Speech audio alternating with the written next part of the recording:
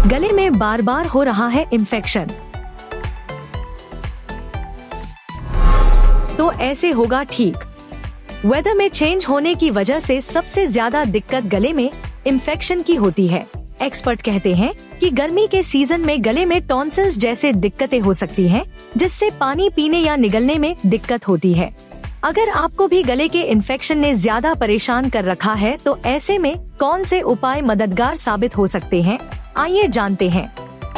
धूप से आने के बाद आप तुरंत एसी या कूलर में न बैठें। कई बार धूप से आने के बाद हम सीधा नहाने या फिर मुँह धोने चले जाते हैं। इससे जुकाम या गले में खराश हो सकती है। गर्मियों के मौसम में आइसक्रीम और कोल्ड ड्रिंक पीने में मज़ा तो बहुत आता है। लेकिन इनसे गला खराब हो सकता है। गले की खराश या बलगम को दूर करने के लिए स्टीम लें। गर्मी के हिसाब से काढ़ा तैयार करें। एक लीटर पानी में तुलसी, काली मिर्च, सौंठ, दालचीनी सभी को एक एक चम्मच मिलाकर काढ़ा तैयार करें और पी लें।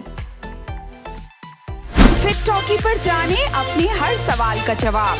सब्सक्राइब करें हमारा यूट्यूब चैनल फिट टॉकी।